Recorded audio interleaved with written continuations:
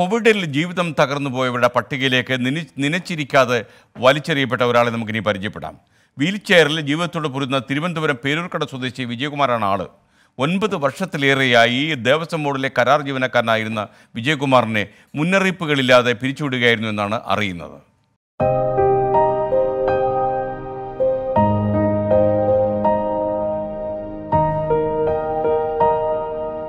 തിരുവിതാംകൂർ ദേവസ്വം ബോർഡിലെ ഒൻപത് വർഷവും ഒൻപത് ദിവസവും നീണ്ട ജോലിക്കൊടുവിൽ കഴിഞ്ഞ മാസം ഒൻപതാം തീയതി വിജയകുമാറിനെ പിരിച്ചുവിടുകയായിരുന്നു. മൂന്ന് മണിയായപ്പോൾ എല്ലാവർക്കും പിരിച്ചു വിട്ടെന്ന് പറഞ്ഞുകൊണ്ട് നോട്ടീസ് എന്ന് പറഞ്ഞാൽ ഒരു രണ്ടാഴ്ച മുമ്പൊക്കെ തരണമല്ലോ. അതൊന്നും തന്നിട്ടില്ല. പെട്ടെന്നുള്ള ഇടപെടാന്നുള്ള തീരുമാനമായിരുന്നു. അതുകൊണ്ടാണ് നമുക്ക് പ്രത്യേകിച്ചൊരു ഷോക്ക് ദേവസ്വം റിക്രൂട്ട്മെന്റ് ബോർഡ് വഴിയുള്ള നിയമനങ്ങൾക്കായി പിരിച്ചുവിട്ട എൺപത്തിനാല് പേരിൽ ഉൾപ്പെട്ടതാണ് വിജയകുമാർ. ഇതിൽ ആകെയുള്ളത് നാല് ഭിന്നശേഷിക്കാർ. എല്ലാവരും ദേവസ്വം ബോർഡിലെ കരാർ ജോലി കൊണ്ട് കുടുംബം പുലർത്തുന്നവർ.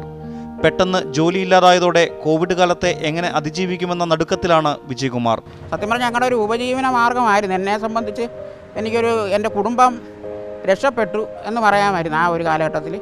അതുകൊണ്ട് എനിക്കൊരു വിവാഹം കഴിച്ചു.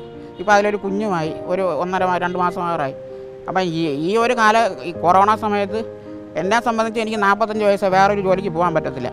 എന്റെ അച്ഛന്റെ കാര്യമാണെങ്കിൽ ഷുഗർ പേഷ്യന്റാണ്. നാൽപ്പത്തിയഞ്ചാം വയസ്സിൽ മറ്റൊരു ജോലി എളുപ്പമല്ല. പിഞ്ചു കുഞ്ഞടങ്ങുന്ന കുടുംബം പുലർത്തണം. കോവിഡ് കാലത്തിന്റെ അനിശ്ചിതത്വമുണ്ട് മുന്നിൽ.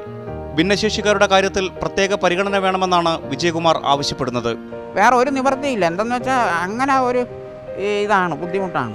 തനേഷ് തമ്പി ട്വന്റി തിരുവനന്തപുരം.